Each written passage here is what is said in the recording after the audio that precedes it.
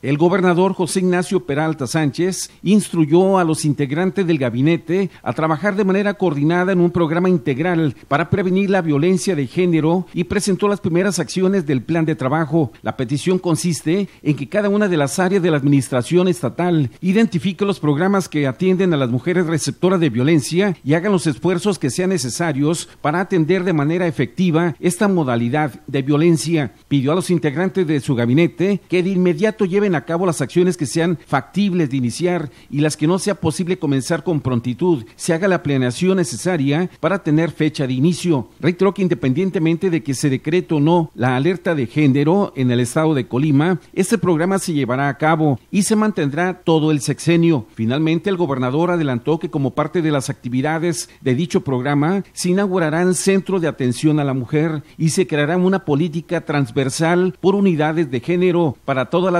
administración pública, así como el lanzamiento del 075, que es la línea de atención inmediata para mujeres que viven violencia, ya que funcionará de manera coordinada con el 911. Noticias 12.1, Marcos Rivera.